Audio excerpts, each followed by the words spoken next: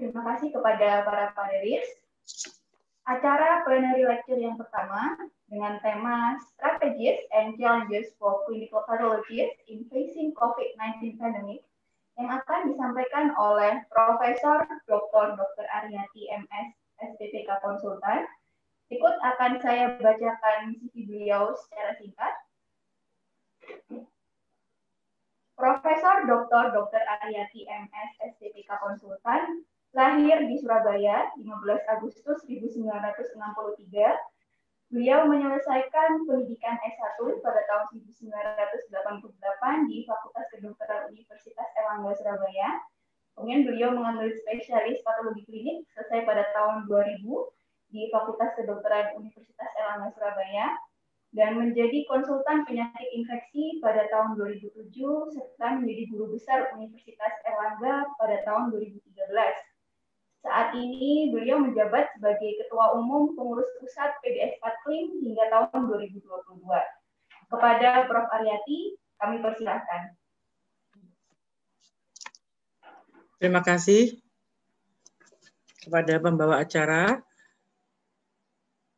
Assalamualaikum warahmatullahi wabarakatuh. Terima kasih banyak Dr. Rita Rogaya tadi yang telah membawakan, memberikan kepada kami semua arahan dan petunjuk sehingga uh, kita bisa uh, bersama-sama mungkin ya dok untuk membantu pemerintah kepada uh, Dr. Rita dan Direktorat Pelayanan Rujukan agar kami dapat ikut membantu uh, dalam testing di apa yang diharapkan ini.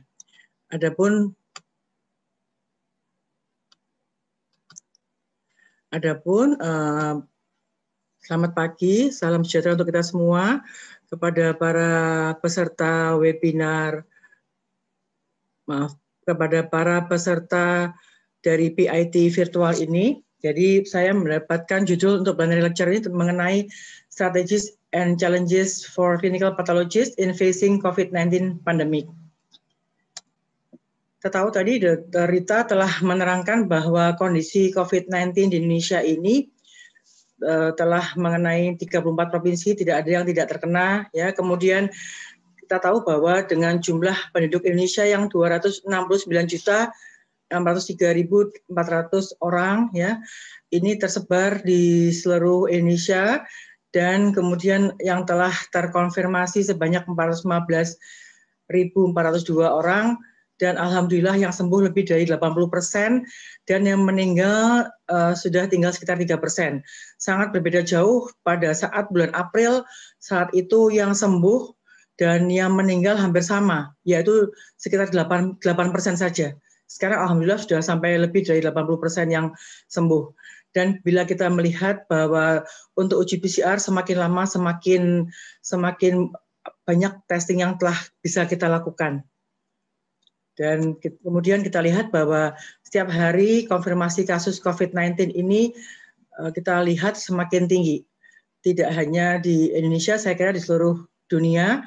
Alhamdulillahnya bahwa kita masih bisa eh, walaupun tinggi gitu ya di bawah India gitu ya. Tetapi kalau kita melihat sebetulnya angka positivitas dari di Indonesia itu masih antara 10 sampai 20 persen, artinya masih merah ya merapat dengan Pak Menko itu sekitar 14,2 persen kabarnya. Nah, kalau melihat seperti ini, maka tantangan untuk kita semua. Maka diskusi pada pagi ini uh, yang akan saya sampaikan yaitu mengenai tantangan dan permasalahan lab di era COVID-19, bagaimana peranan SPPK dan strategi penguatan dokter spesialis patologi di era COVID-19 ini. Kalau kita melihat bahwa dalam kondisi pandemi ini adalah suatu kondisi fase akut ada empat hal yang esensial yaitu bagaimana surveillance dan detection manajemen klinik dan prevensi atau pencegahan penyebaran di komunitas termasuk yang 4M itu ya menjaga jarak memakai masker eh, mencuci tangan dan tambah satu ya menghindari kerumunan ya. Dan kemudian juga memaintain bagaimana pelayanan-pelayanan esensial itu. Dan untuk surveillance dan deteksi tentu nomor satu peningkatan kapasitas laboratorium Tadi Dr. Rita telah menayangkan bahwa semakin hari dari yang bulan Maret, April sangat sedikit dan sekarang sudah lebih dari 300 laboratorium PCR. Nah, kita lihat pada saat uh, Bapak Siswanto 1 April 2020 itu menerangkan mengenai kebijakan pemeriksaan COVID-19 di Indonesia, beliau juga menerangkan bahwa laboratorium dari delapan kapasitas inti itu merupakan uh, merupakan bagian yang sangat mendasar untuk mensupport kesehatan dalam aktivitas program untuk mendeteksi adanya COVID-19. Tentu implementasi ini tidak hanya sekedar diucapkan, tetapi juga harus membumi sampai ke perifer, ke masyarakat, sampai ke level fasilitas kesehatan uh, puskesmas apakah modalitas lab untuk COVID-19? Tadi uh, kalau kita melihat tentu Dr. Rita lebih menekankan dalam hal testing ini, tetapi kalau kita di, labo, di SPPK, di rumah sakit, di laboratorium, kita melihat bahwa mulai dari screening, ya, kita mulai dilibatkan mulai dari screening, bagaimana lab apa saja yang diperlukan pada saat screening. Itu panduan dari Patlin telah ada untuk screening. Demikian juga untuk diagnostik. Kemudian untuk monitoring. Jadi kalau pasien sudah kemudian opname, monitoringnya perlu pemeriksaan apa saja. Kemudian kalau sudah itu prognosisnya kira-kira bagus apa enggak ya, kita ikutin pemeriksaannya apa saja, mulai dari hematologi tentu ya, dan berbagai macam marker, dan kemudian kalau sudah sembuh bagaimana surveillance dan kontak tracingnya. Jadi semua aspek laboratorium itu harus dipahami, diupdate terus-menerus karena kita tahu bahwa COVID-19 ini penyakit yang baru saja ada di akhir Desember, tentu dinamikanya sangat cepat dan kita harus selalu mengupdate keilmuan itu. Kita tahu bahwa kultur virus yang kita harapkan itu positif, bahwa kalau positif maka akan melihat benar-benar ini dapat virusnya tumbuh. Tetapi karena kesulitan itu, tentu sekarang yang menjadi gold standard adalah pemeriksaan NAT, Nucleic Acid Amplification Testing, yaitu termasuk PCR maupun tes cepat molekuler. Nah, kalau itu tidak bisa, maka antigen. Antigen ini nanti akan masuk dalam uh, Kemenkes Pedoman dan Pencegahan COVID-19 di revisi 6, insya Allah dalam waktu yang tidak terlalu lama lagi. Dan kalau antibodi kita telah tahu sejak awal Maret ya, uh, sorry, sejak uh, maaf sejak pertengahan Maret tanggal 19 Maret itu telah masuk sekitar ratus ribu antibodi. Saat itu masih rapid test, sekarang telah berkembang dengan pemeriksaan metode chemiluminescent immunoassay, CLIA, ECLIA, CMIA, ya, dan sebagainya yang teman-teman bisa uh, selama ini kita lakukan webinar yang telah banyak diketahui oleh teman-teman dalam webinar-webinar kami. Penetapan regulasi pemerintah terkait diagnostik laboratorium tadi Dr. Rita telah menerangkan dinamikanya begitu banyak. Saya ingin me, menerang, apa, me, menekankan kembali di mana 2 Maret adanya dua orang yang dinyatakan positif, kemudian jejaring lab telah ada di tanggal 19 Maret, kemudian kita lihat di tanggal 7 April mulai dikeluarkan SE mengenai pedoman pemeriksaan uji PCR ini ya, real time PCR ini, dan kemudian berdasarkan Kepres nomor 12 tahun 2020, Presiden Jokowi 13 April 2020 menetapkan bahwa bencana non alam ini sebagai bencana nasional. Nah, kemudian barulah SE-SE berikutnya uh, keluar mulai dari klaim penggantian biaya perawatan, kemudian nama itu kriteria pembatasan perjalanan, ya, kemudian Juli itu mulai dikeluarkan batas tarif tertinggi untuk rapid test antibody itu 150 ribu. Itu cukup heboh ya waktu itu karena kita waktu itu di belinya aja 200 ribu ya. Jadi ternyata menjadi 150 ribu tentu akan membuat mitra kerja juga uh, banyak yang akhirnya berbenah diri. Kemudian akhirnya alhamdulillah sekarang tarif sudah bisa sekitar 150 ribu dan kemudian 27 Oktober juga kemudian keluar batasan tarif tertinggi pemeriksaan real time PCR 900 ribu. Ini pun juga masih menjadi masalah karena masih banyak juga yang belum masuk ya untuk untuk harga sekian. Tapi saya kira ini tetap dinamika ini terus harus kita ikuti dan alhamdulillah dengan penetapan penetapan ini menyebabkan semua menjadi lebih baik, menjadi lebih terkontrol. Nah, kalau tanggal 1 April Bapak Siswanto menerangkan mengenai kesiapan lab dalam penanganan COVID-19 itu masih jumlahnya masih sedikit ya. Nanti kita akan lihat bahwa semakin lama sudah semakin banyak lebih dari 300 lab PCR yang diterangkan oleh Dr. Rita dan kemarin saya mendapatkan 27 Oktober dari Dinas Kesehatan Provinsi Jawa Timur bahwa ada banyak sekali penambahan lab PCR yang kemudian kami uh, harus segera mengajukan dalam NAR uh, New All Record yang disampaikan oleh Dr. Rita bahwa tolong jangan sampai lupa sekalipun kita berhutang berhutang banyak uh, data untuk lab yang belum kita laporkan karena dalam tahapan visitasi menunggu akun all record namun begitu akun telah kita dapatkan tolong jangan lupa teman-teman untuk melaporkan data-data tersebut ya. Dan jangan khawatir telah di dalam NAR telah ada tanggal pengambilan swab. Jadi insya Allah tidak lagi terhitung sebagai angka yang baru ya. Nah apakah kita telah melakukan testing yang cukup kalau kita melihat WHO dengan kriteria epidemiologinya ini, maka dikatakan bahwa persentase positif sampel itu idealnya dilakukan satu orang dalam seribu penduduk per minggu. Ya, atau juga dikatakan bahwa di bawah lima persen sampel yang positif dalam waktu paling sedikit dua minggu positivity rate-nya. Dan juga di yang bawah ini kita lihat kriteria surveillance dari public health bahwa 90% kasus suspek yang uh, dapat diisolasi dan dikonfirmasi dapat dirilis dalam waktu 48 jam dari onset gejala sehingga diharapkan kecepatan keluarnya hasil tes itu di bawah 48 jam. Inilah yang masih menjadi masalah karena sesungguhnya walaupun testing yang kita miliki sebetulnya sudah cukup secara kumulatif, namun karena belum merata, ada laboratorium yang over capacity, sedangkan ada yang under capacity, nah itulah masih diperlukan pengaturan untuk hal tersebut. Nah untuk itu kita lihat bahwa bagaimana di negara-negara lain, ya di Singapura, di Malaysia, di Jepang, mereka sudah sangat sangat uh, intens sekali dalam melakukan testing ini, ya testing dan tracing, ini. Sedangkan di Indonesia tadi yang telah uh, saya sampaikan, kita lihat bahwa di Indonesia ada sekitar 0,1 orang per ya 0,1 orang per 1000 penduduk per hari. Jadi kalau per minggu itu ada 0,7 orang berarti belum mencapai uh, dari standar WHO tadi yang satu orang per 1000 penduduk per minggu tadi telah kita lihat bahwa ternyata jumlah penduduk Indonesia sangat besar, yaitu sejumlah 269 juta 600 sekian, sehingga idealnya harus dilakukan pengetesan itu 269 ribu orang per minggu. Itu sama dengan sekitar 38 ribu orang per hari. Nah, itulah tantangan kita semua. Jadi walaupun sesungguhnya itu secara akumulatif testing itu telah cukup, tetapi karena belum merata, maka inilah kita uh, perlu melakukan peningkatan dalam kapasitas testing.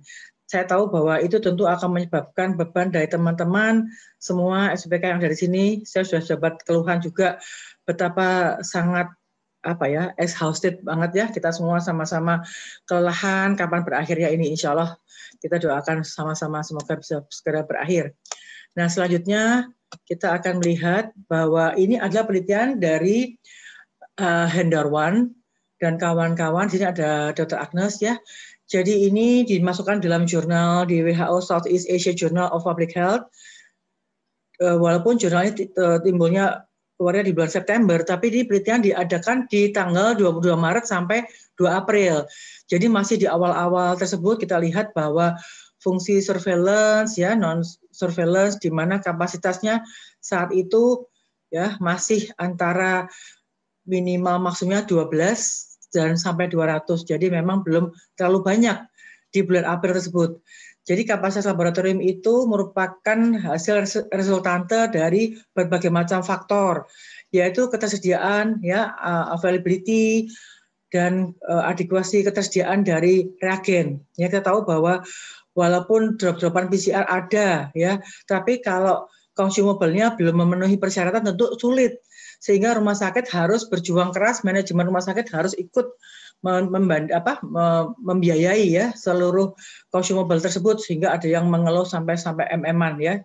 Kemudian uh, beban kerja, beban kerja dari SDM ya selain peralatan tadi, kecepatan dan tentu juga uh, ekstraksi dari RNA kemurnian dari RNA sehingga sekarang berkembanglah berbagai macam pemeriksaan PCR yang tidak menggunakan lagi ekstraksi ya kita lihat. Dan kapasitas ini tentu berbeda antar laboratorium. Walaupun memiliki jumlah staf yang sama maupun uh, jumlah alat yang sama, tapi tentu pengaturan beban kerja, kemudian tadi consumable tadi itu akan mempengaruhi berapa testing yang kita bisa lakukan. Jadi testing per harinya itu berapa? Tolong teman-teman yang di WAG PCR ikut mengisi ya berapa jumlah uh, di Google Form yang dilakukan oleh teman-teman di lab PCR. Jadi hambatannya itu tentu dari tidak hanya kekurangan dari reagensia, ya kekurangan consumable, tapi juga pengaturan beban kerja tadi ada yang hanya sampai jam 9, ada yang sampai jam 24, tentu juga tentu karena disesuaikan dengan keterbatasan dari sumber daya manusia yang ada di sana. Nah, apa tantangan diagnostik COVID-19 di Indonesia ini? WHO eh, mengeluarkan guidance di tanggal 19 Maret 2020 bahwa harus dilakukan oleh laboratorium yang tentu yang terstandarisasi ya tadi telah dikatakan oleh Dr. Rita PSL2 tentu untuk yang menggunakan open system sedangkan yang closed system minimal paling enggak biosafety cabinet tipe 2A ya. Dan memperhatikan juga biosafety biosecurity tadi APD-nya jadi tantangannya adalah persiapan ya dan kapasitas antar lab. Ketersediaan dari uh, yang mengswab ya swabber swabbernya. Ketersediaan daya reagennya, kemudian bagaimana uh, beban kerjanya di lab tersebut, bagaimana pengaturannya ya, shift-shiftnya, transportasi dari spesimen kalau bisa ngeswab tapi nggak bisa mengerjakan PCR merujuk ya. Nah sampai sekarang sudah sampai sampai mana kita? Pemetaan lab PCR nasional ini saya terima kasih kepada Dr. Luisa saya yang membantu saya untuk membuat kuesioner Google Form ya yang terkumpul dari 2 Juni sampai Oktober 2020 dari 30 cabang yang ada di Indonesia dari 1.591 orang itu ada 143 laboratorium ya yang mengisi dan 255 teman-teman SPK yang mengisi Google Form ini sehingga dapat kita petakan sebaran laboratorium PCR secara nasional. Ya mulai dari Aceh ya Medan Batam sampai dengan Papua. Kita lihat bahwa begitu banyak teman-teman telah mengisi termasuk merek-mereknya ya reagennya kita tahu nih alhamdulillah dengan adanya WAG PCR Patlin, maka teman-teman dapat saling belajar dengan cepat. Dulu waktu sekolah mungkin belum terlalu paham, sekarang sudah sangat paham sekali karena dipaksa untuk melihat uh, untuk memahami dengan cepat dan mengerjakan tentu dengan kualitas yang uh, harus dipertahankan. Tadi yang telah kita lihat di awal di jam setengah sembilan tadi pemaparan tentang lab PCR di Indonesia oleh teman-teman sekalian. Saya sangat berbangga pada kalian semua. Terima kasih banyak Nah, tantangan lab pada COVID-19. Kita tahu bahwa ini adalah COVID-19 adalah penyakit baru, tentu setiap saat dinamikanya harus kita ikuti. Jadi update knowledge ini harus eh, kita akui bahwa kita harus cepat bergerak, kita harus cepat mengupdate termasuk juga skill kita ya dan peran utama lab dalam penegakan diagnosis tentu peningkatan kapasitas yang diharapkan tadi oleh Dr. Rita ya saya kira juga uh, Pak Luhut selalu menekankan itu, Pak Menkes ya, tentu keinginan dari Pak Presiden kita. Untuk itu semoga kita dapat mengatasi segala macam keterbatasan alat SDM maupun reagensia dan kalaupun ini uh, telah berlalu ya tentu kita tetap harus bertahan ya. Artinya di era yang sekarang pun tidak hanya pemeriksaan COVID-19 juga tapi juga pertahankan semua pemeriksaan laboratorium yang ada sebelum COVID-19 termasuk pemeriksaan HIV, RNA untuk viral load, hepatitis B, HBV DNA, HCV RNA untuk TB DNA itu yang itu yang uh, yang untuk PCR. Untuk yang lain-lain juga mohon dapat dipertahankan walaupun saya tahu ini semua menurun dan kita tetap harus mempertahankan standar mutu hasil laboratorium. Di sanalah peran dari SPPK. Bagaimana karena isunya? Kita tahu bahwa COVID-19 diagnosis ini kita memiliki banyak isu-isu. Jadi gold standard PCR ini tadi ya eh, bagaimana kita mempertahankan ya biosafety lab 2-nya harus yang benar ya minimal harus ada biosafety 2A kalau kita memang menggunakan uh, tes cepat molekuler ataupun yang closed system ya kemudian pemahaman tentang target gen yang spesifik ini akan mempengaruhi hasil, bagaimana interpretasi hasil? Kita tahu bahwa tidak hanya positif negatif. Banyak pertanyaan kemarin bagaimana dengan presumptif inkonklusif itu bagaimana? Ya kemudian kepentingan city value. Tadi pagi pun masih ada spesialis anestesi me, me saya protes karena city value tidak keluar ya. Padahal itu telah diterangkan bahwa dikeluarkan pada saat memang dibutuhkan serologi antibody, bagaimana respons imun terhadap SARS-CoV-2 ini, mulai dari IgM, IgG, IgA, total antibody baik terhadap spike, terhadap RBD atau nucleocapsid, ya, mana yang lebih baik, tolong teman-teman semua pahami. Penggunaan serologi tentu untuk diagnosis, plasma konvalesen, vaksinasi, ya, deteksi antigen. antigen ini akan masuk di Kemenkes revisi 6 dalam waktu dalam waktu tidak akan lama lagi tentu kita harus pahami bahwa dia dapat dideteksi pada saat fase replikasi aktif, fase akut. Jadi pada saat pasien itu masih akut-akutnya di 5-7 hari pertama. Dan dikatakan oleh WHO di tanggal 11 September di, di referensi dari WHO dapat di-download bahwa sensitivitas bervariasi yang ada di dunia itu sesungguhnya antara 0 sampai 94 persen. Walaupun spesiesnya tinggi, memang lebih dari 97 persen. Oleh karena itu, hati-hati dalam memilih. Oleh karena itu WHO mengatakan bahwa pakailah yang memiliki sensitivitas lebih atau sama dengan 80% dan spesinya antara 97 sama dengan 100%. Sehingga perlu waspada juga saat interpretasi karena kita tahu bahwa antigen positif pada saat CT value di bawah 25 ya pada umumnya ya. Kemudian itu kalau kita menggunakan CT maksimumnya 40 ya sekali lagi CT maksimum itu berbeda-beda antar antar lab PCR. Ada yang 31,5, ada yang 40, ada yang 45, ada yang 27. Tolong teman-teman SPK pada memahami itu semua ya. Kemudian bagaimana juga untuk hematologi? Tidak hanya PCR antibody antigen tapi juga hematologi penting nih. Bagaimana pemahaman kita penggunaan darah lengkap, darah perifer lengkap atau CBC. Untuk monitoring, untuk prognosis, kapan? Setiap tiga hari kah, setiap hari kah, setiap enam jam kah? Kapan kita melihat D-dimer, D-dimer gitu ya untuk koagulasi ya. Tentu kapan kita melihat CRP untuk melihat marker inflamasi ataukah mungkin ada ikutan bacterial infection dengan procalcitonin ataupun persepsin ya. Kita kemudian lihat juga ini adalah uh, dari WHO 11 September tentang diagnostic testing, di mana apabila kita melihat dua kali PCR, PCR dua kali ya di awal lebih dari waktu 24 jam, selangnya bila negatif, maka optionalnya dapat dikerjakan pemeriksaan antibody, tapi jangan yang rapid ya. Yang semi kuantitatif bisa menggunakan CLIA, CMIA, ECLIA ya, dengan dua kali pemeriksaan sekarang dan dua minggu lagi. Tentu di situ ada tempatnya untuk IgG, IgM maupun uh, antibodi total ya.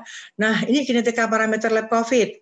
Kalau awal-awal kita mendengarkan bahwa IgM terdeteksi pada ya akhir minggu pertama, IgG awal minggu kedua tidak lagi demikian. Banyak referensi yang mengatakan bahwa IgM dapat dideteksi di awal-awal, demikian juga IgG.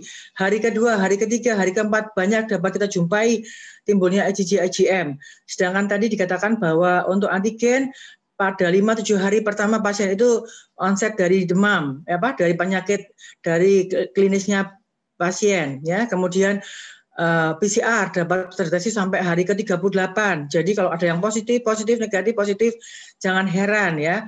Itu harus dipahami. City value, tolong city value sangat-sangat dipahami ya. Jangan lagi uh, jangan lagi ada SPK tidak paham. Dan kita tahu bahwa city value tidak direkomendasikan untuk laporan rutin. Dr. Vivi telah mengeluarkan suratnya itu dan tidak diinformasikan kepada pasien. Karena banyak pasien bisa mispersepsi, apalagi kalau mengerjakannya tidak di uh, laboratorium yang sama. Jadi kalau kita mau mengikuti CT value harus di lab yang sama, alat yang sama, target gen yang sama, ya, dengan metode yang sama, ya. Insya Allah juga dengan petugas yang sama. Nah, itu kita bisa ikuti alat yang sama ya. Jadi dapat diinformasikan ke klinisi apabila diperlukan. Dapat dipakai untuk monitoring ya. Jadi tadi asal dengan menggunakan yang sama-sama sama semua tadi tadi ya. Karena apa? Karena kalau nggak sama nggak sama tadi ada faktor preanalitik dan analitik yang dapat berbeda antar kit PCR ya. Dan kita tahu bahwa dikatakan city value itu positivitasnya juga uh, dikatakan pada uh, city value yang rendah kulturnya ya. Jadi artinya di bawah 35 ya, itu kultur masih bisa positif.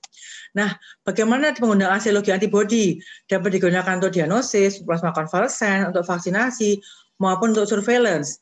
Ini adalah untuk antibody neutralisasi. Kapan kita gunakan? Kita tahu bahwa untuk vaksinasi idealnya memang menggunakan PRNT karena PRNT susah digunakan walaupun dia sebagai gold standard, maka sekarang berkembanglah antibodi neutralisasi dengan menggunakan immunoassay. Nah, oleh karena itu perlu diperhatikan bagaimana apakah sudah sesuai, apakah comparable dengan PRNT.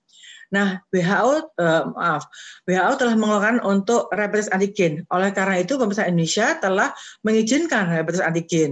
Satgas COVID-19 Prof. Wiku juga telah mengatakan dalam hal ini juru bicara Satgas COVID Prof. Wiku telah mengeluarkan bahwa uh, bisa menggunakan juga rapid test antigen, tetapi tentu dengan keterbatasan. Jadi tentu dengan gempuran rapid test antigen itu bagaimana teman-teman SPK menyikapi? tentu kita harus melihat sensitivitas yang baik yang kita pilih ya dan bagaimana interpretasinya validasinya ya sekarang sedang dikerjakan oleh uh, Dr. Vivi dan Dr. Slamet di Balit Bangkes ya bagaimana tentang rapid antigen ini dan antigen detection telah ada di WHO 11 September 2020. Tentu kita tahu bahwa penggunaannya akan sangat bermanfaat di mana dengan spesies yang tinggi lebih dari 97 persen, maka tanda petik ini sudah lebih menjurus bahwa memang dia COVID-19. Tetapi kalau negatif tentu tidak menyingkirkan dia terinfeksi COVID-19. Ini adalah berbagai macam eh, hal-hal uh, yang perlu diperhatikan kapan kita tidak menggunakan rapid test antigen dan bagaimana peran SPPK apakah SPPK sebagai policy? Seperti halnya ada sejawat kita yang sebagai kadinkes ya, apakah sebagai manajer, sebagai praktisi, tentu kita harus tetap menjaga profesionalisme. Nah untuk itu kalau kita melakukan pemeriksaan PCR, tolong selalu mengingat tentang pasien karena pasien itu bisa bisa jadi adalah keluarga kita sendiri. Tentu kita harus mengaktifkan semua keberdayaan ilmu kita, knowledge kita, kemampuan komunikasi kita dan tentu dilandasi dengan uh, perilaku yang baik ya dengan dengan kesungguh-sungguhan kita untuk membantu pasien secara holistik. Nah, ini dari Prof. Ida di tahun 2014, Prof. Ida telah menekankan bahwa pendidikan PPDS ini tentu telah dimulai bahwa kita harus bisa melakukan komunikasi. Jadi sebagai SPPK tentu komunikasi untuk klinisi yang lain, komunikasi dengan teman di manajemen, dengan pemerintah, ya, setempat, PPDS setempat ataupun di pusat kemudian pemahaman tentang metode dan implementasi dari berbagai macam hal ini tentu membutuhkan integritas dari SPPK yang tinggi. Tingkatan kompetensi SPPK, kita tahu bahwa ada tingkatan tiga yang mampu menjelaskan kelainan laboratorium dan memilih jenis lab ya, diagnosis dan monitoringnya, dapat mampu merujuk, 4A mampu melakukan komunikasi dengan klinisi, menginterpretasikan dengan benar, mengintegrasikan semua hasil laboratorium dan memberikan kesimpulan, dan mampu mengusulkan uji lab lanjutan, termasuk untuk kepentingan penelitian dan epidemiologi. Untuk itu mungkin teman-teman saya mengingatkan kembali kita memiliki 10 kompetensi dasar yaitu mulai dari hematologi, onkologi, kardiocerebrovaskular, gastroenterohepatologi, nefrologi, metabolisme endokrinologi maupun penyakit infeksi, alergi imunologi, dan BDKT atau bank darah dan kedokteran transfusi. Nah, manajemen laboratorium lah yang akan saya tekankan ya. Karena belum banyak yang paham tentang manajemen laboratorium meliputi apa saja. Tentu untuk mencari update keilmuan kita bisa telusuri dari berbagai macam hal tersebut termasuk jangan lupa update teknologi termasuk artificial intelligence ya. Kita harus mengupdate kebijakan-kebijakan dari regulasi pemerintah, pedoman dari WHO, CDC, pedoman nasional, apa yang dilakukan oleh pemerintah, SE, KMK ya maupun panduan-panduan Paklin. Jangan lupa kita bisa menelusuri ya jurnal-jurnal dan mengoptimalkan seluruh keilmuan dan kompetensi kita dari faktor penalitiknya, analitiknya, post analitiknya, ya dapat mempertanggungjawabkan hasil yang akurat dan dapat dipertanggungjawabkan, meminimalisasi terjadinya false post dan false negative. Kalaupun terpaksa keluar hasil false post dan false negative, kita harus tahu bagaimana menginterpretasikan kemungkinan false post dan false negative itu karena apa. Dampak hasil false post kita tahu bahwa kalau misalnya kita tidak berhati-hati dapat menyebabkan uh, kerugian dalam hal individu maupun global. Tentu itu misalnya mau dioperasi menjadi operasi dilakukan dengan prosedur COVID gitu ya. Kemudian juga kalau misalnya termasuk juga untuk finansial akan lebih tinggi dan faktor psikologis yang terutama karena masih banyak orang yang merasa terstigma kalau positif COVID ya. Nah, ini adalah manajemen laboratorium klinik ada 16 hal. Apa saja sih manajemen lab klinik itu? Peraturan berkaitan peraturan berkaitan lab klinik, dasar-dasar manajemen, pengorganisasian, metode instrumentasi, komunikasi termasuk LIS ya, perencanaan lab klinik, manajemen logistik, manajemen sampel, pembuangan limbah, termasuk tolong diperhatikan Pak teman-teman nanti membantu untuk pemeriksaan antigen ya, limbahnya ya. Manajemen data dan statistik, manajemen finansial, SDM dan pelatihan, penelitian dan pengembangan, mutu pelayanan, manajemen resiko ya ini dan akreditasi lab klinik.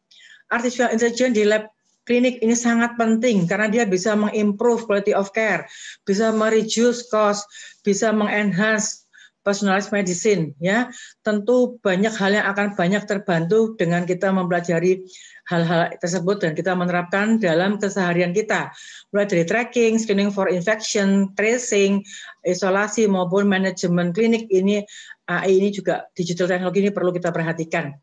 Kolaborasi banyak pihak perlu skill untuk komunikasi.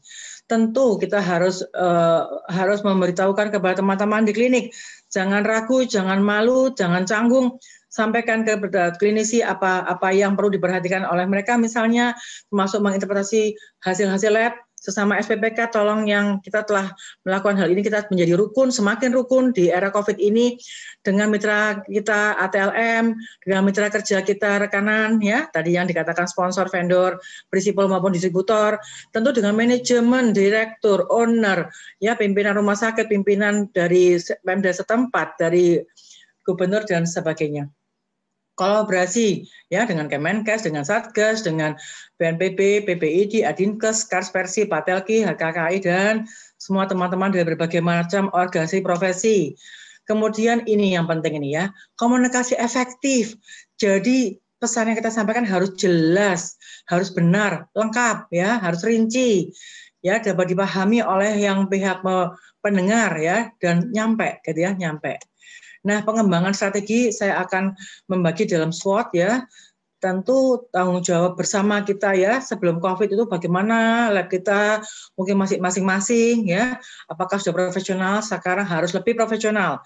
Di era new normal ini tentu kita harus update keilmuan, lab molekuler harus cepat ya, harus cepat belajarnya ya. Kita sudah mengerjakan sama-sama lab molekuler, tentu kita menjamin juga kualitasnya ya kemudian dengan standarisasi yang yang tentu uh, ter, apa, terstandarisasi dan jangan lupakan kolaborasi dengan berbagai uh, pihak lain ya termasuk profesi-profesi lain. Kalau sudah nggak COVID gimana dong? Tetap kita pertahankan kualitas, optimalkan sumber daya yang ada yang kemarin COVID kita pakai juga untuk yang lain tentu akan sangat bisa ya. Uh, apa strength-nya? Kekuatan kita apa? Kita ada 1591 yang tersebar di 30 cabang lingkup keilmuan yang luas tadi 10 kompetensi tadi, peran sentral laboratorium yang menunjang semua ya menunjang utama untuk mendiagnosis penyakit. Tentu yang paling penting dalam hal ini adalah kolaborasi. Percuma kita mengerjakan semua kalau teman-teman tidak tahu ya, teman-teman di teman-teman organisasi profesi yang lain harus kolaborasi kerjasama. Tentu eh, organisasi lain dan kementerian-kementerian yang terlibat ya, dinas kesehatan termasuk di dalamnya ya. Nah, weakness kita apa? Nah, ini yang saya melihat sejak saya sekian puluh tahun yang lalu ya saya keberanian teman-teman nih ya. Kadang-kadang pekewo, merasa junior ya, nggak mau tampil, nggak mau bersuara. Jangan saya, jangan saya, jangan saya ya, selalu sungkan. Jangan ya, jangan. Kita nggak boleh sungkan, nggak boleh pekewo. Kalau kita tahu ilmunya, sampaikan ya, sampaikan. Pengusahaan leadership ya, merangkul manajemen maupun pemerintah. Dan opportunity-nya bagaimana? Nah, ini kesempatan kita aktualisasi diri ya karena semua parameter laboratorium itu kepake ya bahkan darah lengkap atau CBC aja yang tadinya cuma hema, trombo gitu ya, itu sekarang udah semua harus tahu nih div mulai dari was absolut itu gimana, NLR ya, monosit ya, MLR segala macamnya kolaborasi dengan banyak pihak, pelayanan lab yang sangat holistik yang sangat dibutuhkan dalam mitigasi, diagnosis, monitoring ya. Kemudian pemanfaatan tadi yang saya bilang AI dan otomatisasi dalam manajemen apa threat-nya ya. Nah, karena makin bebannya makin banyak, maka potensi burnout ya, tapi tetap nih harus wajib mempertahankan standar mutu, tantangan kolaborasi dengan banyak pihak. Ada aja kita sudah capek-capek masih nggak percaya hasil kita ya. Tentu juga kewaspadaan terhadap potensi dari teknologi digital tadi, adanya AI tadi, maka hati-hati SPK yang nggak update ini bisa tergerus nih ya. Jadi harus update terus Strateginya bagaimana? Dengan adanya keterbatasan infrastruktur dan fasilitas tentu memperkuat sistem rujukan ya agar proses tracing ini berjalan cepat, memperkuat jaringan distribusi alat dan reagen, kerjasama dengan berbagai pihak ya. Kemudian juga dengan teman-teman mitra kerja tadi ya, vendor, sponsor tadi ya, vendor terutama saya pikir itu perlu perlu di apa kerjasama yang sangat baik ya teman-teman SPK ya, memperluas jaringan informasi sesama SPPK ya. Kemudian sumber daya yang belum pernah selama ini belum pernah intensif sekarang jadi kita harus intensif dalam pelatihan ya, intensifikasi interpretasi dan macam-macam ya. Holistik ya, harus kita harus bersama dengan berbagai macam pihak dalam hal tracing, screening dan segala macam ya. Strategi penguatan dari SPK ada lima hal. Menerapkan salah satu kompetensi SPK di bidang infeksi ya karena COVID-19 ini kan juga SARS-CoV-2 adalah bidang infeksi. Jadi walaupun keahliannya bukan infeksi tetap nih harus belajar juga infeksi ya secara holistik tanpa mengesampingkan kompetensi lainnya secara utuh. Artinya semuanya secara utuh 10 kompetensi tadi. Mengembangkan resources pelayanan lab, mengimbangi metodologi, teknologi, pola layanan dan kebijakan nasional, melakukan kerjasama yang efektif secara internal dan eksternal, lingkup pelayanan lab maupun lingkup profesi, membina kolaborasi intra dan interdisiplin dalam layanan di tingkat rumah sakit, fasiankes maupun tingkat regional dan nasional. Secara organisasi tetap menjaga hubungan kerjasama secara internasional. Apa yang sudah kita lakukan? Distribusi kita sudah tersebar di 30 cabang, 1.591 SPPK dan konsultan saya kira sudah lebih dari 300 ya.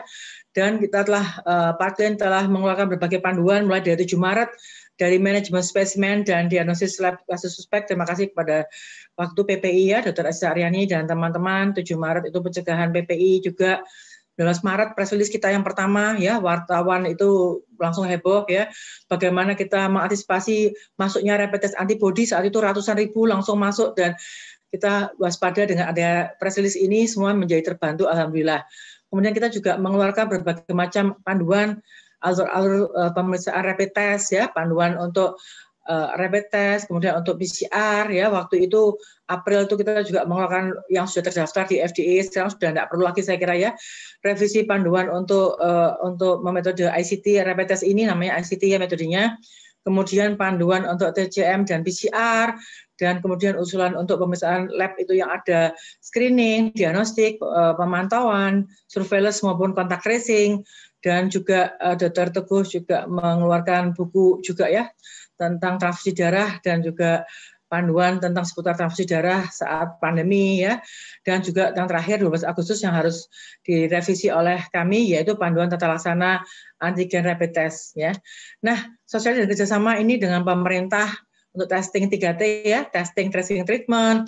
Kemudian kita juga melakukan webinar kolaborasi dengan banyak pihak, dengan Adinkes, dengan dengan Persi, dengan Perhati, PDSRI, dengan Patelki, dengan semua pihak ya, dengan PBID terutama ya, saya kira tentu kita semua di bawahnya ID ya.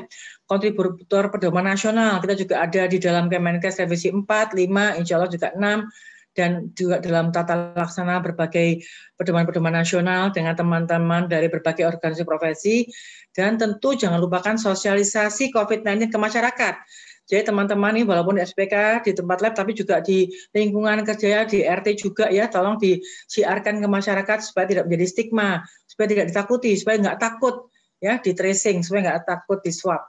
Nah kita ini seperti mobil. Jadi mobil tuh nggak akan bisa jalan tuh walaupun ada setirnya kalau nggak ada rodanya, ada rodanya nggak ada setirnya, ada setirnya nggak ada kacanya, ya nggak ada pintunya. Semua ini penting mulai dari pemerintah ya, tentu pihak manajemen di tempat kita bekerja.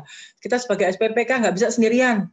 Ada teman-teman nih di klinisi berbagai macam profesi dari SP anestesis, SPOK, SPPD, SP paru, SPA, SP anak ya, SP anestesi ya dan semuanya bedah ya, eh, neuro dan semuanya ya. Saya kira itu semua adalah mitra teman-teman kita itu sebagai klinisi yang perlu di dalam mobil ini ya. Kemudian mitra kita juga ATLM. Kita bersama-sama di lab PCR tadi yang di video yang disampaikan. Rekanan tadi yang dikatakan Dr. Puspa sebagai mitra sponsor, mitra kerja ya. Baik yang prinsipal maupun distributor saya mengucapkan banyak terima kasih selama ini dukungannya kepada kami. Jadi kita semua itu memiliki sama-sama tujuan yang sama. Pengen kan sama-sama mensukseskan COVID ini, 3T ini, ya, kemudian juga menjalankan 4M tadi itu, ya, dan sama-sama ingin nih segera era bebas COVID-19. Tapi tentu kita semua tahu posisi kita masing-masing, kita punya posisi yang berbeda, posisi yang berbeda tapi sama-sama dalam satu mobil itu kita berjalan bersama. Nah, ini adalah email, Facebook, website, YouTube, Instagram, dan Twitter dari Pat Clean. Dan kita tahu bahwa sebelum COVID kita bisa bersama-sama ke tempat wisata rame-rame pakai payung ya rame-rame supaya nggak kena panas. Eh, sekarang udah ini bukan sesudah COVID nih ya, duration COVID nih, maaf ini keliru nih ya. Sekarang dalam masa COVID ini, ya ini jauh-jauh ya, mau nonton juga mungkin 50% aja kapasitas kalau di bioskop ya.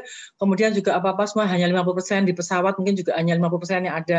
Saya kira itulah perubahan dan kita semua harus siap dengan dinamika perubahan itu dan kita siap membantu pemerintah. saya akhiri. Uh, saya belum mengucapkan, uh, mungkin belum banyak yang tahu bahwa teman-teman kita, sudah berumur 30 tahun, Parklin ini, jadi kami akan tutup, kami akan tutup dengan tema bahwa tentu Parklin akan selalu berbakti untuk negeri. Wassalamualaikum warahmatullahi wabarakatuh. Waalaikumsalam warahmatullahi wabarakatuh. Terima kasih kepada Prof. Aryati atas plenary lecture yang sangat bermanfaat. Tidak lupa kami ucapkan terima kasih kepada para mitra kerja yang telah dukung berlangsungnya acara PIT virtual hari ini. PT Rioka Medica, Transmedik, Winhot, Mindre, Mitra Bahagia, Medilab, PT Nelta Multigrasia, PT Inti Makmur Media Tama, dan Roche, PT Sabah Indonesia, Sismed, Siemens Indonesia, Prodia, Tripatria Andalan Medika, Tamara Overseas Corporindo, Tawada Healthcare, PT UBC, PT Gerpen. Ebert, PT Biomedik Scientific Indonesia, PT Dexa, Dipa Healthcare, Jembatan 2, PT Horiba, PT BD, PT Dimensi Citra Semesta, dan yang terakhir PT Diastika Biotech Indo.